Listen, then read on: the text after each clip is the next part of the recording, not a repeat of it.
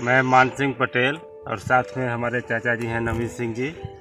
और हम लोग ग्राम सभा रिठिया क्षेत्र नवगढ़ जिला चंदौली में हम लोग मिर्ची की खेती किए हैं।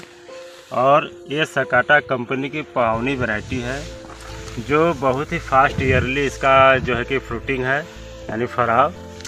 और इसका जो मार्केट वैल्यू वो भी अच्छा है। और दूसरी ये है कि आंधी तूफ़ान में टूटता नहीं है, इसमें उखड़ा की शिकायत भी नहीं है। और मार्केट वैल्यू भी इसकी बहुत अच्छी है। और आज के डेट में मार्केट में हर मर्चों से इसकी तोड़ाई सबसे पहले हो जाती है।